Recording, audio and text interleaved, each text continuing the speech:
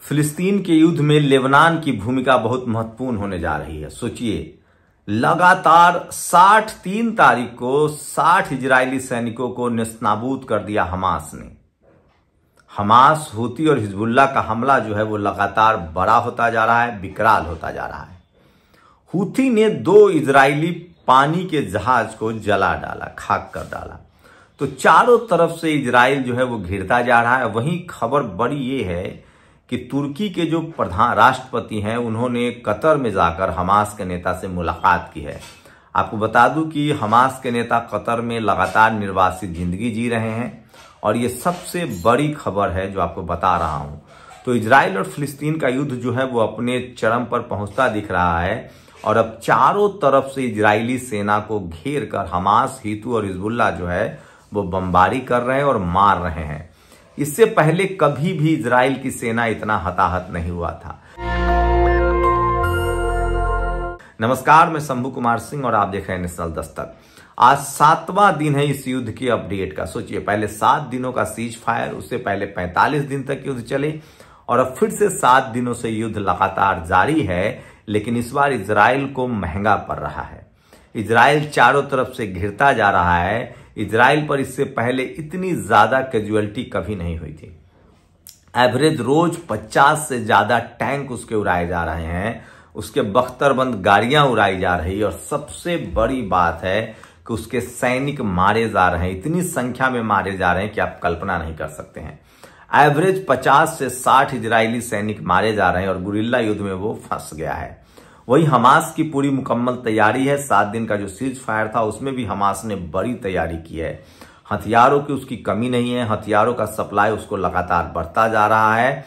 और वहीं पॉलिटिकल तौर पर भी ये युद्ध बड़ा होता जा रहा है। उस पर बात करूँगा, लेकिन पहले ग्राउंड पर क्या तैयारी है, सो देखिए, गजा में और वेस्ट बैंक के इलाके में लगातार हमास जो है वो हमले कर रहा है। हिजबुल्ला के लड़ाके अपने देश में बैठकर इसराइल के बॉर्डर जो जो तटीय इलाका है, जो कोस्टल इलाका है, जो सीमावर्ती इलाका है, उस पर हमला कर रहा है। ईरान हथियारों की सप्लाई कर रहा है।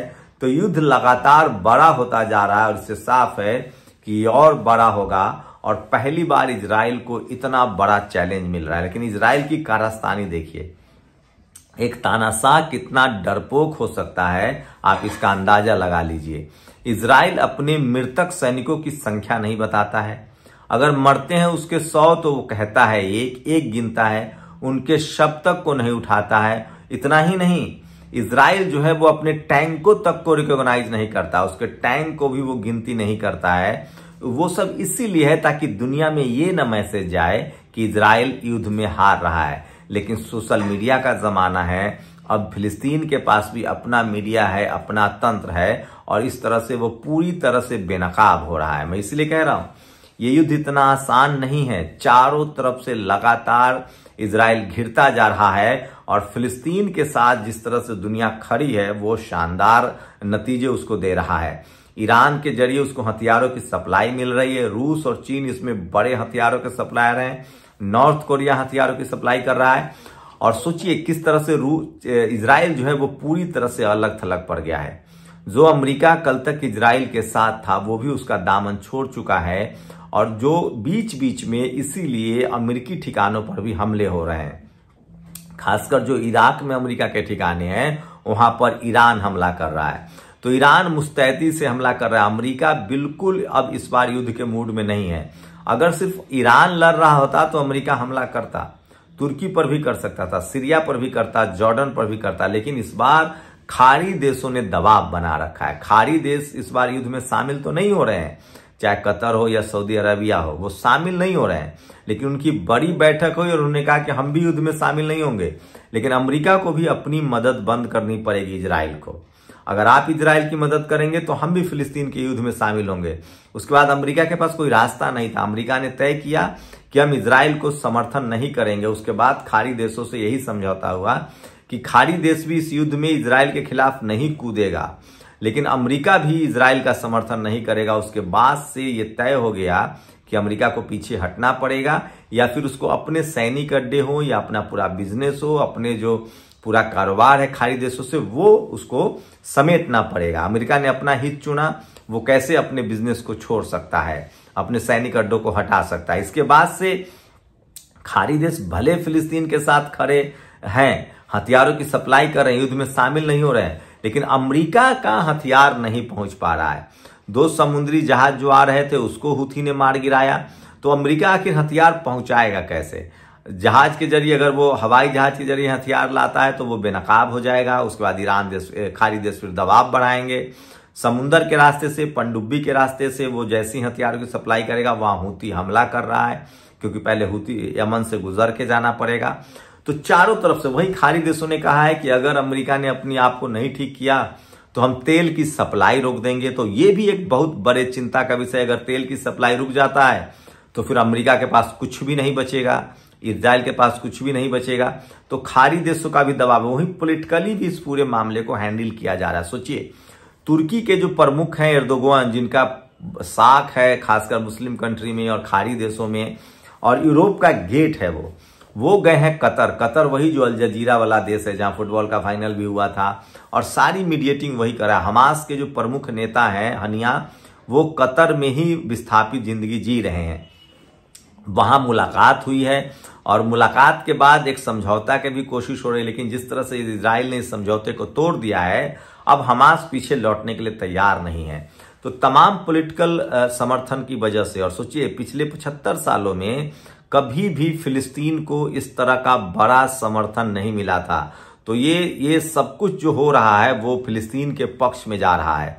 फिलिस्तीन पहली बार इतना मज़बूत है, जिसकी आप कल्पना नहीं कर सकते। भले इसराइल ने बमबारी करके वेस्ट बैंक और गजा पट्टी को उड़ा दिया है लेकिन नैतिक रूप से और इंटरनेशनली फिलिस्तीन को पहली बार समर्थन मिल रहा है। पिछले पचहत्तर सालों में कभी भी दुनिया फिलिस्तीन के साथ खड़ी नहीं थी, क्योंकि पश्चिम मीडिया ने उसको आतंकी देश, आतंकी संगठन जारी घोषित कर रखा था। लेकिन इस बार सब कुछ उलट पुलट है। इस बार इसराइल के जो कारस्तानियाँ हैं, उसकी जो करतूतें हैं, उसने जिस तरह से युद्ध के नियमों को ताक पर रखकर फिलिस्तीन पर हमला किया है उस वजह से पूरी दुनिया उसके खिलाफ हो चुकी है। यूनाइटेड नेशंस में दो बार वोट हुए हैं। दोनों बार, एक बार 120 देशों ने, एक बार 145 देशों ने इसराइल के खिलाफ प्रदर्शन किया है। तो ये सबसे भयानक है, सबसे खतरनाक है। और सोचिए, वहीं भारत भी दो बार इसराइल के खिलाफ वोटिंग कर चुका है। एक बार वॉकआउट किया था, दो बार वोटिंग कर चुका है। भारत की वेबसाइट पर अभी भी हमास आतंकी संगठन नहीं है। गृह मंत्रालय की नज़र में यूनाइटेड नेशन ने भी हमास को आतंकी संगठन नहीं कहा है। जिस तरह से तालिबान के साथ आज पूरी दुनिया द्विपक्षीय बातचीत कर रही है, हमास भी फिलिस्तीन का एक ताकतवर संगठन है, जो गजा पट्टी को चलाता है। वही हमास को खुद उम्मीद नहीं थी कि उसे फिलिस्तीन में इतना समर्थन मिलेगा। लेकिन जिस तरह से इसराइल ने हमास को बर्बाद किया, बमबारी की, उसके बाद से हर फिलिस्तीनियों के आँख में सपना है कि वो हमास के साथ जुड़कर आज़ादी की लड़ाई में शामिल हो। लेकिन हमास की जीत की सबसे बड़ी वजह हथियारों की सप्लाई। जिस तरह से उसे अब हथियार मिल रहे हैं, रूस से, चीन से, नॉर्थ कोरिया से, ईरान से, और जिस तरह से उसके पड़ोसी देश उसके साथ खड़े हैं, खासकर जॉर्डन, यमन, लेबनान, सीरिया, तुर्की, इजिप्ट, मिस्र, और उसके बाद खाड़ी देशों ने जिस तरह का स्टैंड लिया है, जो लिबिया के समय अमेरिका के खिलाफ नहीं लिया, इराक के समय अमेरिका के खिलाफ नहीं लिया, लेकिन अब वो फिलिस्तीन के मुद्दे पर इसराइल के खिलाफ वो खड़े हैं। तो ये सारे जो हालात बने हैं सरपंच सांसद बने हैं, वो साफ़ साफ़ इशारा कर रहे हैं कि अब फिलिस्तीन की आज़ादी बहुत करीब है और हमास इस युद्ध में अब पीछे हटने वाला नहीं है। वही सोचिए, ये इसराइल युद्ध को रोक भी सकता था, वो हारने से बच भी सकता था, लेकिन बेंजामिन नेतन्याहू को युद्ध से ज़्यादा अपनी कुर्सी प्यारी है। क्योंकि उसे पता है कि अगर उसने युद्ध में से पीछे कदम खींच लिया तो इसराइल की सत्ता उसके हाथ से निकल जाएगी। क्योंकि इजरायली लोग नाराज़ हैं, उनको पता चल गया है कि ये सब कुछ अपनी कुर्सी बचाने के लिए था, क्योंकि लगातार इसराइल के बेंजामिन तन्याहू के खिलाफ प्रदर्शन हो रहा था तेल अबीब से लेकर देश के तमाम शहरों में। उसके बाद इस युद्ध में उसने झोंक दिया। अगर वो युद्ध से पीछे हटता है तो जनता उसे नहीं छोड़ेगी। लेकिन युद्ध में अगर वो रहता है तो गुरिल्ला युद्ध में वो हूथी, हिजबुल्ला और लेबनान से हूथी, हिजबुल्ला, हमास से उसको लड़ते लड़ते उसके सैनिक हताहत हो रहे हैं, रोज मारे जा रहे हैं। और ये बात इजरायली बर्दाश्त नहीं करेंगे कि उसके सैनिक मारे जा रहे हैं।